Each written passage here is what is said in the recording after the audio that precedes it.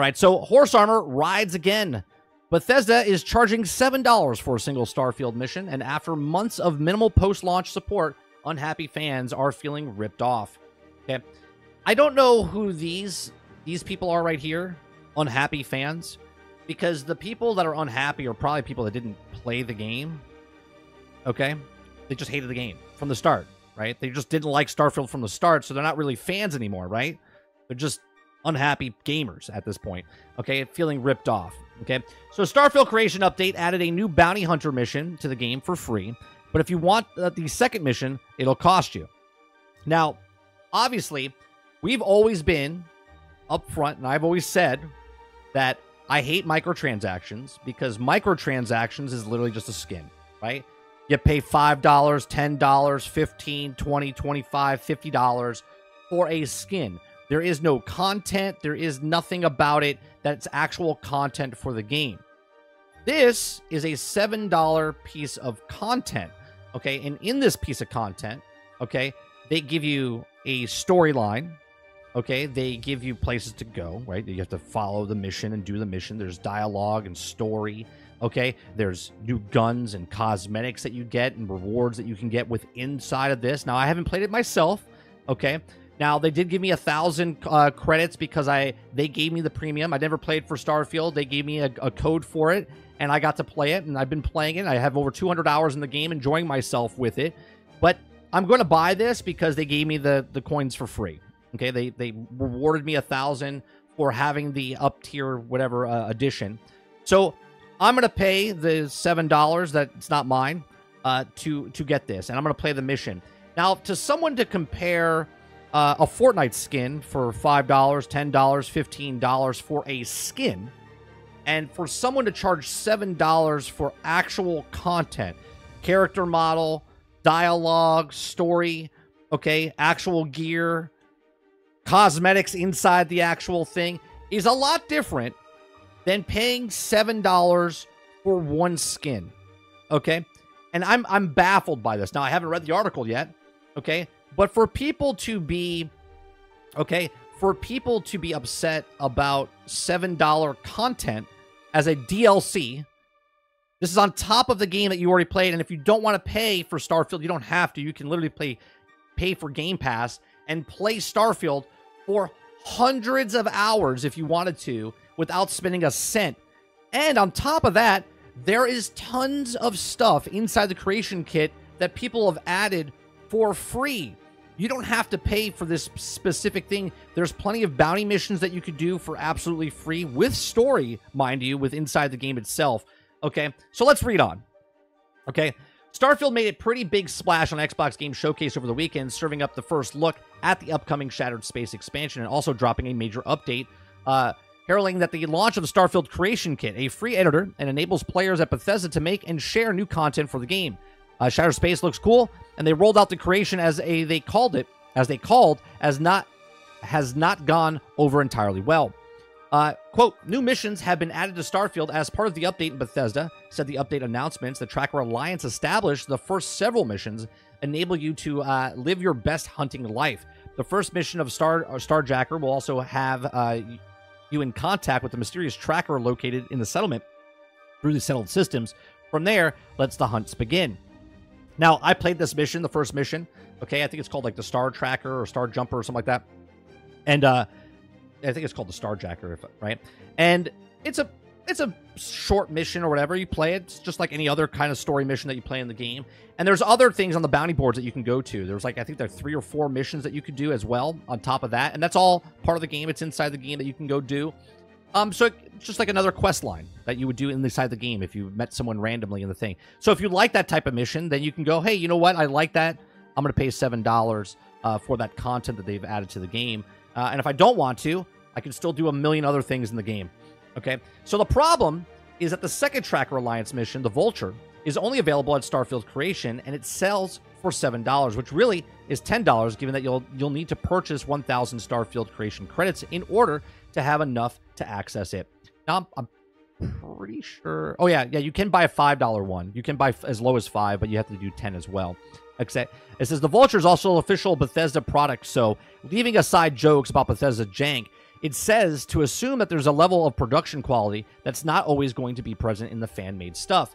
Even so, there's a widespread feeling that a lot of the money for for a single quest. This this blows my mind. This absolutely blows my mind, right? And this is me not defending Starfield in any way, shape, or form, right? I've said I would pay $15 for DLC, for content, for story. Okay, you add more story and content to a game, doesn't matter what that game is. If you put something behind it, I will give you money for it instead of paying $15 for one fucking skin. $50 for one fucking skin.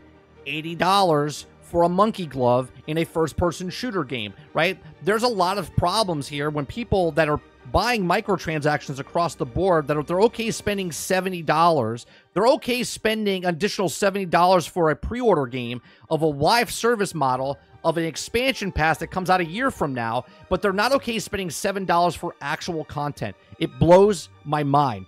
To compare, the Starfield Premium Edition upgrade goes to $35 and includes a full Shattered Space expansion, and the Constellation skin pack, digital art book, soundtrack, and a thousand creation credits, enough to buy the Vulture mission. Now, is Shattered Space actually just two quests in trench coats? Probably not. Redditor Mighty Novak wrote, so I doubt that even Bethesda believes it's a reasonable pricing. So it, love of God, drop the price. Okay. Uh, Oblivion sold entire elaborate player houses complete with quest lines for less than $2. So accounting for inflation is also be generous to say that $3, I think, or $3 for fun quest and some cool equipment would at least be reasonable to compare of what they're currently being offered. Okay. Redditor Bubba one two three four five six two is also somewhat more uh, uh, analyst. He says DLC is fine. Charging seven dollars per quest is fucking stupid. Again, I literally downloaded a free. You know what? Let me let me open up my my Xbox real fast and let me show you. Right, you can go into Starfield. Okay, and there's free quest lines that you can like pick up and go go do. Right, there's people that charge five dollars for complete other you know, quest line and, and whatnot. Okay. It says uh, there's some pushback against the notion that players who point out that nobody has to pay for these missions and that the release of the creation kit, which means a flood of new content, all for free on sites like Nexus Mods, enough to keep everyone busy for a very long time. But it's not just the cost of the mod that's the issue for some players. Recalling that Bethesda's catastrophic attempt to introduce paid mods in Skyrim in 2015, there's also a feeling that this is part of the long-standing effort to uh, to separate gamer separate gamers from their money. The the I, my brain's I'm hemorrhaging here. My brain. Okay, again, someone pays fifteen dollars for one skin. They'll pay ten dollars for uh, a season pass that they have to grind for, which is absolutely nothing but skins. And someone charges money for an actual DLC for a small little thing. You don't have to pay for it, by the way. You don't have to buy it. You could not buy it, and then I guarantee you it will go down in price because they just put the creation kit out there. They want to see how much people will pay for it, right? If you don't want to pay for it, don't buy it. Get some of the stuff that's on the creation store for free that people are putting out there. Okay?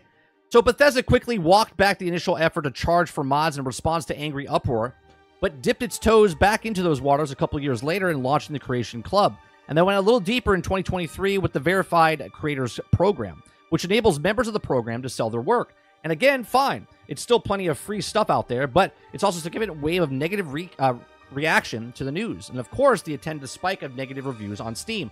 Here's another thing that I think is absolutely ridiculous, right? Everyone's like, I want to support creators, I want to support developers, I want to support these things.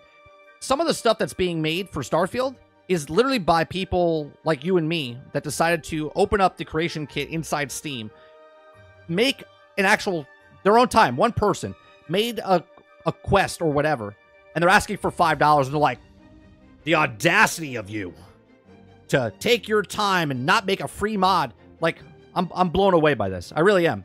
Okay. Like, we're not talking about Bethesda. We're talking about verified people that that, that are making content like you and me that it's their, their side business, right? They're they're making content for a game that already has content in it. Okay, so it says Starfield is drawing similar, uh, similar IRE enough uh, continuity in all new review bombing, but influx of negative reviews sure isn't doing it already a mixed rating on any good. So people are going back. The game that nobody wants to play, the game that nobody likes, the game that nobody actually plays. Okay, now they're getting review bombed again because nobody's playing it. Nobody likes it. Nobody wants to do anything. But yet they're following this story really closely. Okay. So one Redditor said that appears of Vulture sets a dangerous precedent because assuming it goes over well enough to the future content releases should be cut up, sold piece by piece, and think that it's overstating that thing's a bit. Now, Bethesda games typically come uh, front loaded with massive amount of content, and it's really not reasonable to expect the endless stream of post releases more for free. But I can see where it's coming from. I don't think Starfield is a bad game, strictly speaking, but it's a standalone disappointment for Bethesda's R- RPG uh, uh, in light of what is natural to think about the studio might be more inclined. Let the new monetization scheme slide for a while, and rather than using the launch for the long waited mod tools to lean into it. Okay, then again, Bethesda has something of a history of breaking ground in the field of squeezing more money from the committed fans. The new Starfield mission has drawn many comparisons with the infamous horse armor that outraged so many Oblivion players back in 2006. Remind you, $2.50 for a skin, for one skin, for a fucking horse back in 2006, and $7 for actual content, storyline, cosmetics, weapons, right? Is completely two different things, right? So the horse armor won despite all the online upset and mockery, people bought it. And the door of microtransactions is the mainstream gaming was flung open.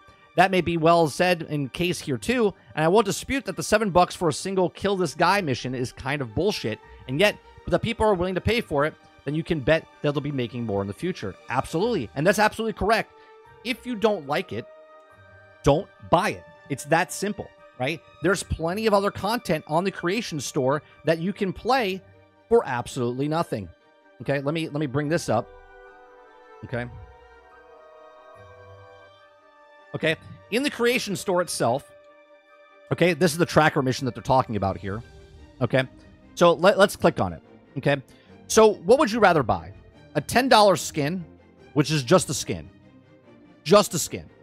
Or would you rather buy, and I'm not saying $7 is is is good. I'm just saying $7 you get you get the uh, a sniper rifle, okay? You get includes a new Tracker Alliance bounty.